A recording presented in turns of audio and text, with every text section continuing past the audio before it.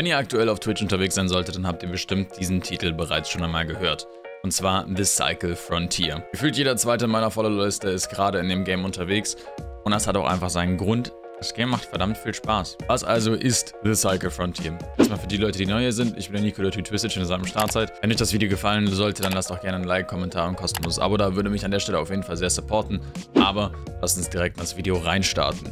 Was ist also The Cycle? The Cycle wird produziert von einem deutschen Entwicklerstudio namens Jager, welches aktuell in Berlin sitzt. Äh, Jager ist bereits dafür bekannt, dass sie einen Titel wie zum Beispiel äh, The Spec Ops The Line bereits produziert haben, welches ein Third-Person-Story-Shooter ist. Aber das sagt uns jetzt noch nicht allzu viel zu The, zu The Cycle. Im Endeffekt, The Cycle ist ein Spiel, was bereits äh, produziert wurde, beziehungsweise schon tatsächlich einmal auf dem Markt war.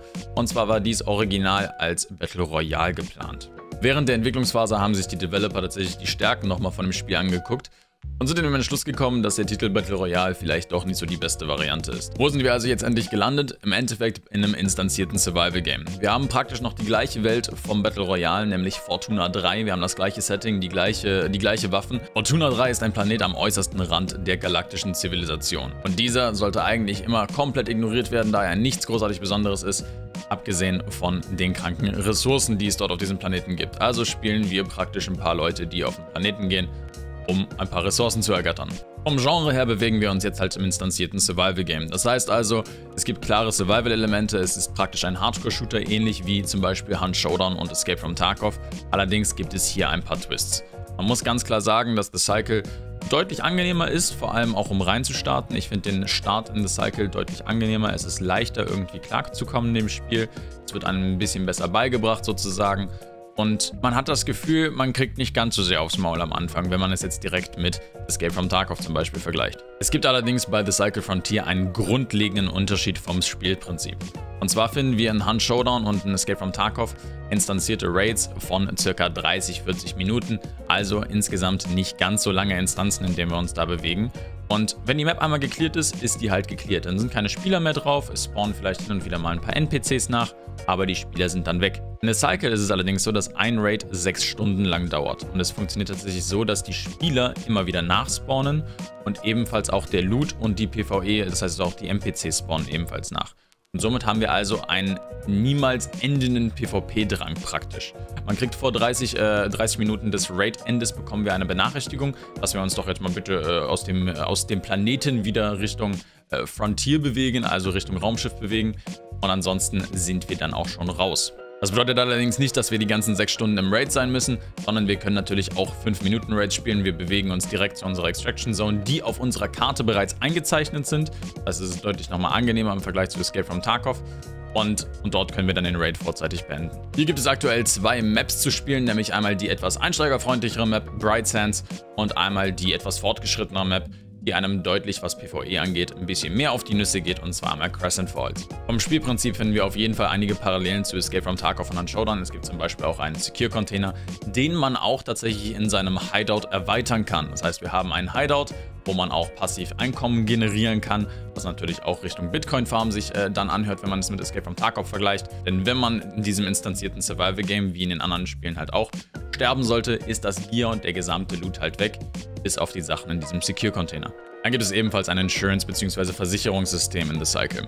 Dadurch, dass es auch zwei unterschiedliche Währungen gibt in dem Spiel, haben wir hier auch zwei unterschiedliche Möglichkeiten, unser Gear zu versichern. Einmal können wir das mit der, mit der Währung Aurum tatsächlich versichern und damit bekommen wir dann auch unser Gear nach dem Raid wieder, wenn es kein Spieler gelootet haben sollte.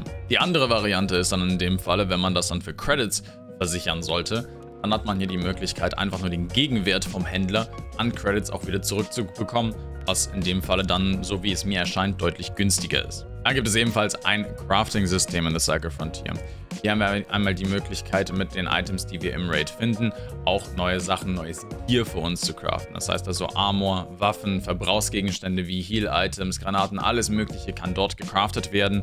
Und das Schöne, was man dort auch sehen kann, ist, ähm, tatsächlich kann man in The Cycle ebenfalls auch Erze abbauen, la Minecraft, wie man es so wunderbar kennt. Diese kann man abbauen mit einem Bohrer oder einer ganz normalen Spitzhacke in dem Fall. Und diese Erze sind tatsächlich ebenfalls noch im Endgame relevant. Wie kann man also sagen, kommen wir denn zum Endgame? Im Endeffekt gibt es in dem Spiel drei Fraktionen. Für diese müssen wir Quests erfüllen und Ruf sammeln.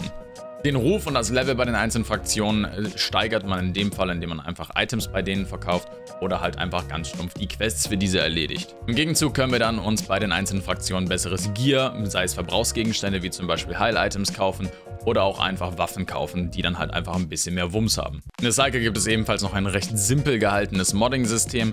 Hier haben wir für jede Waffe noch die unterschiedlichsten Attachments, die es dann halt allerdings auch in der unterschiedlichsten Seltenheitsstufe gibt. Das heißt also, man kann äh, Items in einer Common, also in einer wunderbaren grauen Stufe finden, bis hoch bis zur lilanen Variante. Man kennt hier diese typischen grün, blau, lila Abstufungen, wie man es aus den meisten Games halt kennt. Man nehme sich also jetzt nun diese ganzen Systeme, die ich gerade erwähnt habe, kombiniert das Ganze mit einem geilen Setting in einem Sci-Fi-Universum.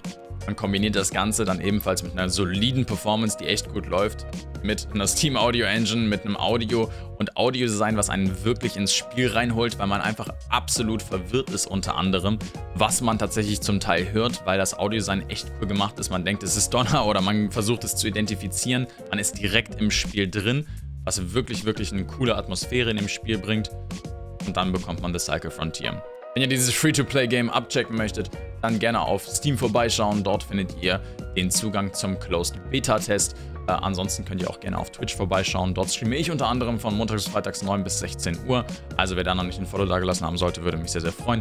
Und ansonsten dort auf Twitch habt ihr ebenfalls auch die Möglichkeit, Twitch-Streamern zuzugucken, die ebenfalls auch Drops aktiviert haben, wo ihr dann auch den dann bekommen könnt. Wenn ihr Bock auf weiteren Cycle Frontier Content habt, dann lasst gerne ein kostenloses Abo da, dass ihr da nichts mehr verpasst. Und ansonsten viel Spaß in euren Raids.